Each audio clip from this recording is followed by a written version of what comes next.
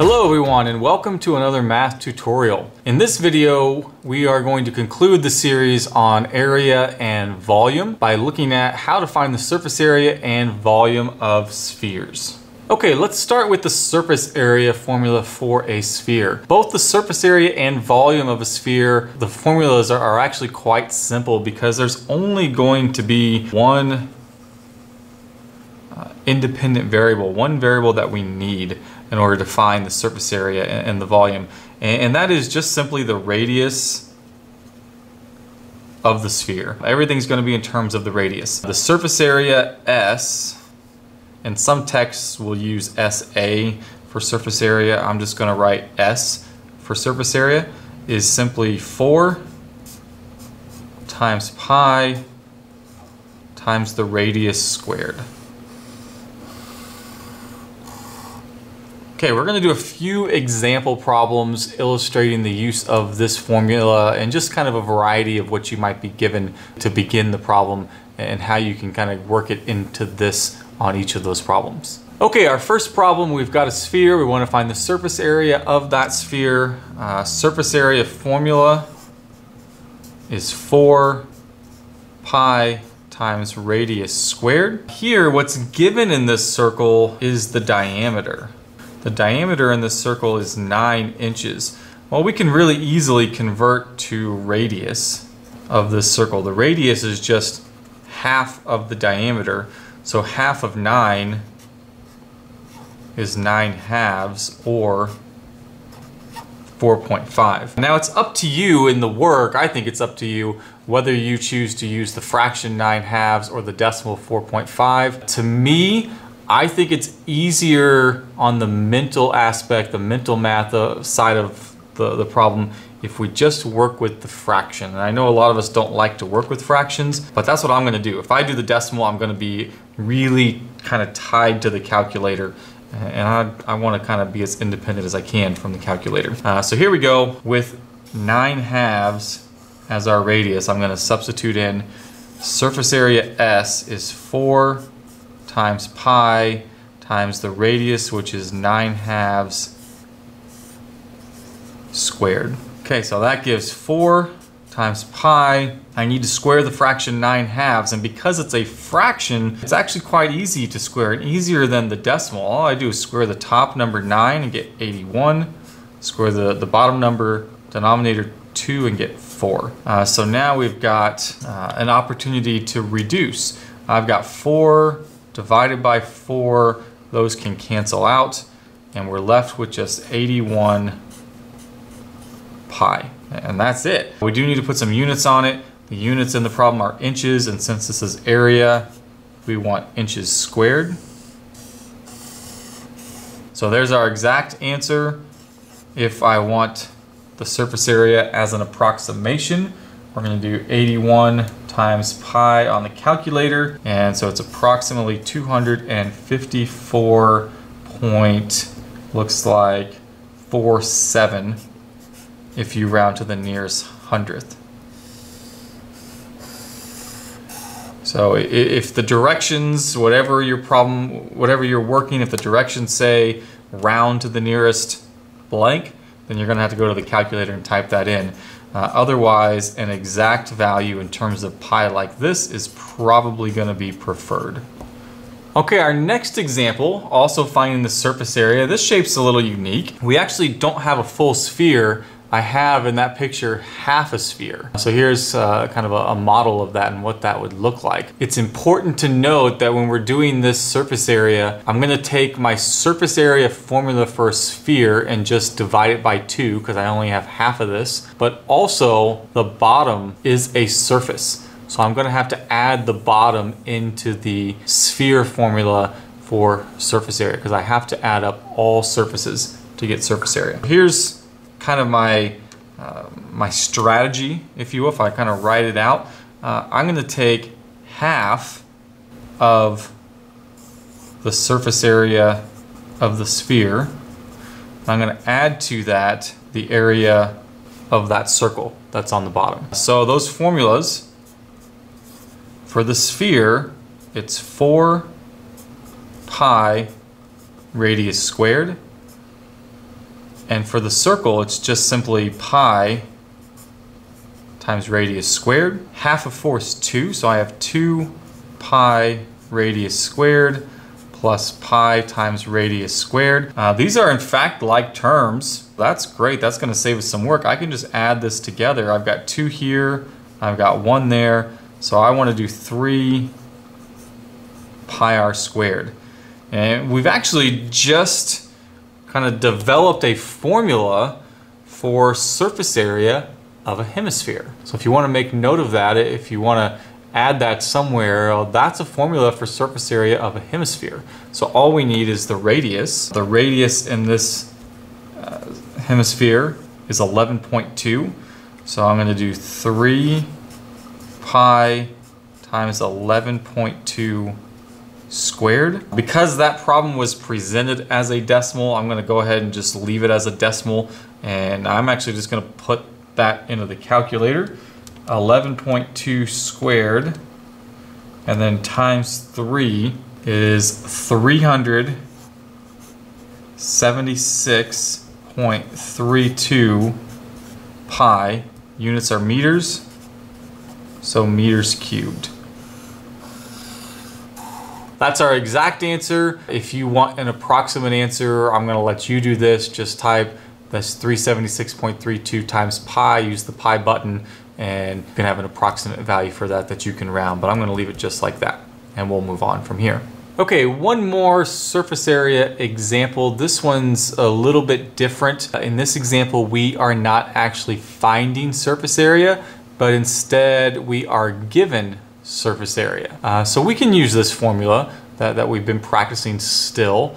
Uh, we're just going to solve for a, a, different part of the formula. So surface area, again, is 4 pi radius squared. The difference in this problem is we have been given radius and looking for surface area. Here it's just kind of backwards. And in fact, if we read the problem, the whole thing, we're not actually looking for the radius, we're looking for the diameter. That's okay, that's a really simple modification to do at the very end. I'm gonna let the formula work its way out. I'm gonna find radius and then I'll change it into the diameter. So let's put this surface area, 144 pi, in here.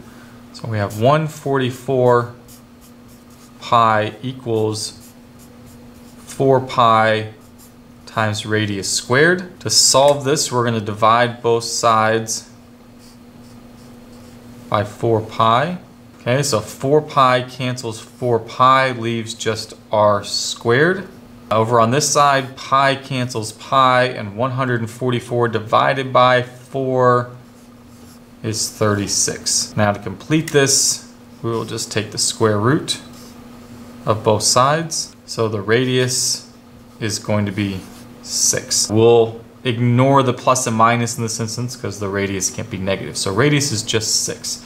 Now, we want to change that into the diameter, so we're just going to double 6. So that would give us a diameter D of 12. Uh, let's look for units. Surface area was square centimeters, so this is going to be 12 centimeters.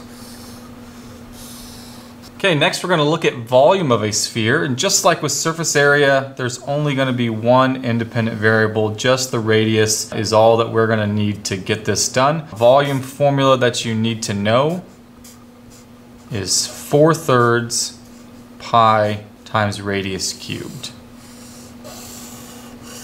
Let's practice that with a few example problems. Okay, we're going to find the volume of this sphere. This sphere has a radius of 13 centimeters. Our volume formula is 4 thirds pi times radius cubed. So put the 13 in for the radius. We have 4 thirds pi times 13 cubed. It's going to be 4 thirds pi.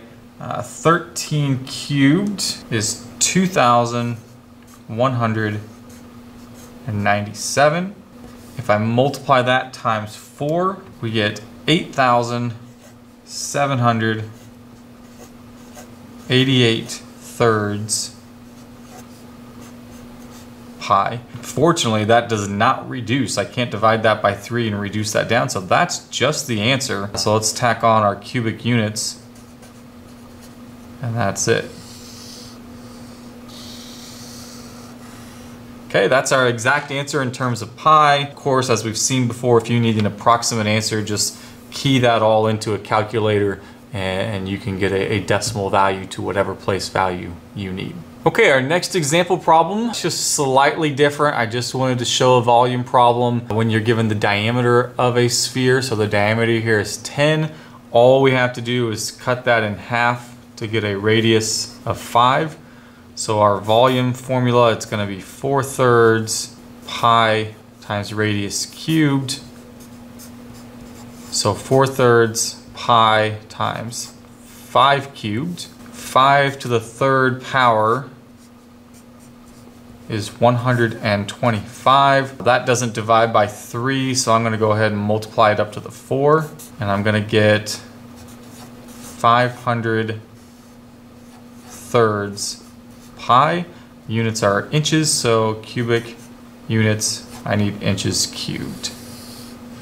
Again, that's my exact answer in terms of pi. You can go to the calculator if you need to do anything more with that. Okay, the next example problem is a composite figure. I like these composite figures. Here we've got uh, essentially like a snow cone. We've got a cone and then we've got a hemisphere that's been placed on top of that. Everyone's had probably an ice cream cone or a snow cone. That's kind of the shape we're dealing with in this particular problem. So in order to find the volume, we need to find the volume of each of these pieces uh, and then add them together. So I need the volume of the cone plus half the volume of the sphere.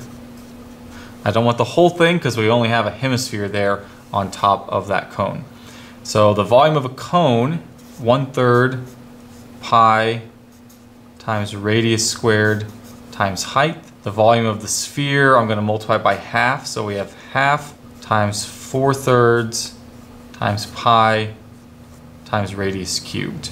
Can't do anything to really put those two pieces together because I've got h here and I don't have h on this. So I'm just going to work them both separately and then I'll do what I can to combine the answers in the end. Here we've got in this cone and sphere, the radius is 6, and for the height of the cone, we have 12. Okay, so let's drop all those values into the appropriate places in the formulas. We're going to have 1 third pi times 6 squared times 12 plus, I'm going to go ahead and do some reducing here 2 goes into 4 twice, so that's going to make 2 thirds pi times 6 cubed. Okay, so we have 1 third pi, 6 squared is 36 times 12. 2 thirds pi times 6 to the third power is 216. So let's see what we can do to, to put all this together. Say 3 goes into 36 12 times. So that term is 12 times 12 pi. So I have 144 pi plus, and then the next problem, 3 goes into 216 72 times. So we have 2 times 72 which is 144 pi. Those are like terms, so we get 288 pi.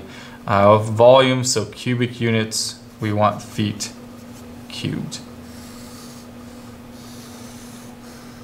Okay, our final example problem of this video asks us to find the volume of a sphere that has a surface area of 400 pi square feet. So if I look at the volume formula, volume formula is 4 thirds pi times radius uh, cubed. So I'm not going to get very far with this if I don't know what the radius is. So I need the radius. If I had the radius, I would just plug it in there and I'd work out the volume and I would be finished. So that becomes the problem is to find the radius. So I'm going to find the radius. And I'm gonna find the radius with this extra information right here. Surface area formula is 4 pi times radius squared. And I know the surface area is 400 pi. So I can set that up to where r, the radius, is the only variable left. And I can solve for that. I'm going to divide both sides by 4 pi.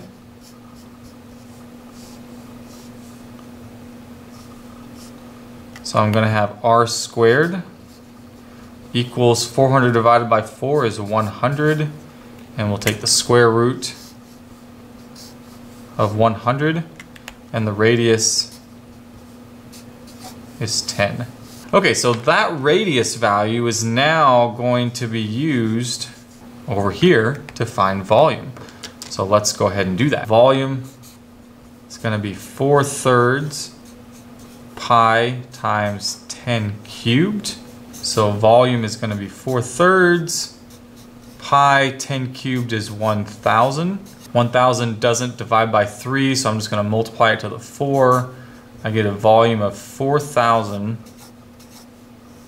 thirds pi. Uh, I will need units. Uh, units in the problem were feet squared. The radius then was feet. The volume is going to be feet cubed. And again, as I've been stopping the last few problems in an exact form in terms of pi, if you need a decimal value for that answer, just go ahead and use the calculator to convert that into a decimal. Okay, that concludes this final video on surface area and volume of a sphere. If you have any questions or comments, please feel free to leave them below. Thank you for watching, and I'll see you in the next one.